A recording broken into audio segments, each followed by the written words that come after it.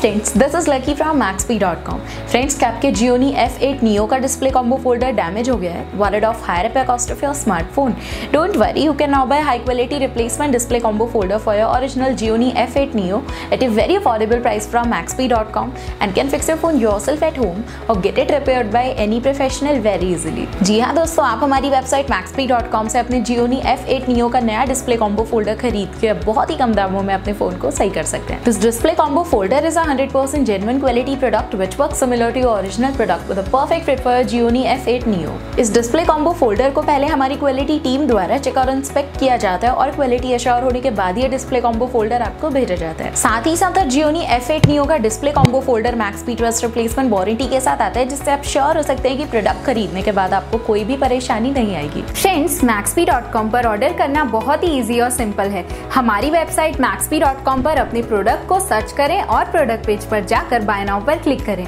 अपना नाम mobile address fill करें और ऑर्डर पर क्लिक करें। ऑर्डर क्लिक करने के बाद आप हमारे सुपर सिक्योर पेमेंट पेज पर आ जाएँगे, जहाँ आप ऑलमोस्ट हर तरह से पेमेंट कर सकते हैं, जैसे कि यूपीआई नेट बैंकिंग क्रेडिट और debit card wallet etcetera once your payment is done and your order is process it will be safely packed and dispatch within one or two days और हाँ guys shipping बिल्कुल free है so you just have to pay for the product and nothing else आपके order की सारी updates और tracking details regularly आपको आपके ईमेल और फ़ोन पर भेजी जाएगी, जिससे आप अपने ऑर्डर का स्टेटस जान सकते हैं। मैक्सपी पिछले छह सालों में अपने हज़ारों हैप्पी कस्टमर्स को फ़ोन पार्ट डिलीवर कर चुका है और ये गिनती डेली बढ़ रही है। सो वेट मत करिए, अभी ऑर्डर करें और चल रहे special cashback and heavy discounts का फ़ायदा उठा के अपने फ़ोन में लगवाएँ बेहतर क्वालिटी पार्ट्स वो भी कम दामों में।